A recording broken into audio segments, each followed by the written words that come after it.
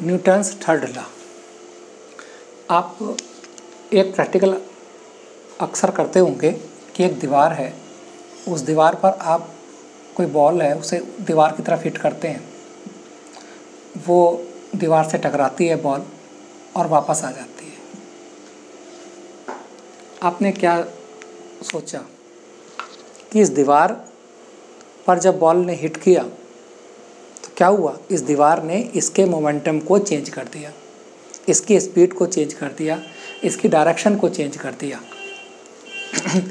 Ball ने दीवार पर एक फोर्स अप्लाई किया। उस फोर्स के कारण ही इसके मोमेंटम में चेंज हुआ। तो क्या अकेला इस बॉल ने ही दीवार पर बल लगाया फोर्स लगाया? क्या दीवार ने बॉल पर फोर्स नहीं लगाया? अगर कोई स्प्रिंग है, उस स्प्रिंग को अगर हम ऊपर से कंप्रेस करते दें तो क्या होगा? स्प्रिंग कंप्रेस पास पास हो जाएँगे। स्प्रिंग कंप्रेस हो जाएगी। क्या ये स्प्रिंग ऊपर को जाना नहीं चाहती? ऐसे बहुत टॉय होते हैं कि दबाते हैं, छोड़ते ऊपर चले जाते हैं।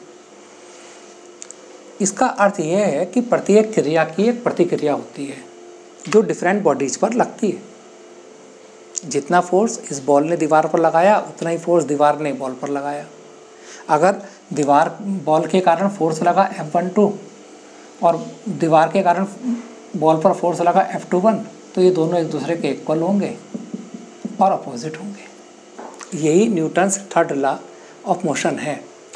To every action there is an equal and opposite reaction and they act on two different bodies अगर एक गुब्बारा आप लें,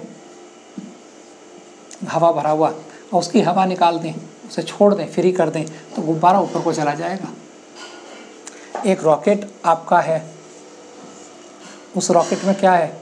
अगर एक, क्या होता है, नीचे वो गैसेस निकल देते हैं पहले, गैसेस का प्रेशर देते हैं। गैसेस नीचे को जाती हैं और रॉकेट ऊपर को जाता है।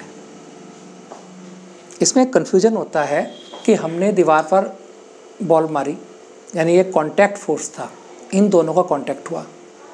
हमने स्प्रिंग को पुश किया तो कांटेक्ट फोर्स था। तो क्या एक्शन, रिएक्शन फोर्स हमेशा कॉन्टैक्ट फोर्स के कारण ही डेवलप होते हैं। ऐसा नहीं है। अगर कोई मैग्नेट है, उस मैग्नेट के पास हम कोई आयरन का पीस रख देते हैं। तो आयरन का पीस और मैग्नेट के बीच अट्रैक्शन फोर्स होगा।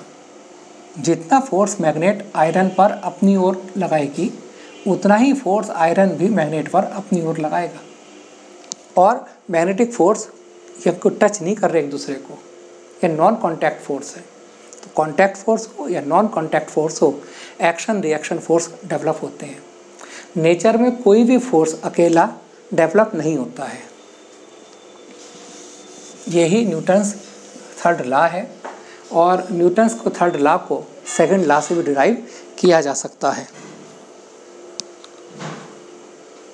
जैसे, यदि कोई बंदूक है, उस बंदूक से कोई बुलेट हम छोड़ते हैं तो जितना फोर्स बंदूक बुलेट पर लगाएगा, उतना ही फोर्स बुलेट के द्वारा भी बंदूक पर पिस्टल पर लगता है। इसी कारण वो पिस्टल भी पीछे की ओर धकल जाती है और हमारे कंधे पर चोट मारती है। पृथ्वी पर हम चलते हैं तो आप पृथ्वी पर जब चलते हैं तो आप पृथ्वी पर बल लगाते हैं। लौटाकर पृथ्वी भी आपके पैरों पर उतना ही बल लगाती है। उस रिएक्शन के कारण ही हम आगे चल पाते हैं। प्रत्येक एक्शन की रिएक्शन होती है। अगर आप किसी के गाल पर अभी कोई चपत मार दें तो जितना फोर्स आप उस पर व्यक्ति पर लगाएँगे, ठीक उतना ही फोर्स वह व्यक्ति भी आपके ऊपर लगाएगा। यही न्यूटन की गति का तीसरा नियम है।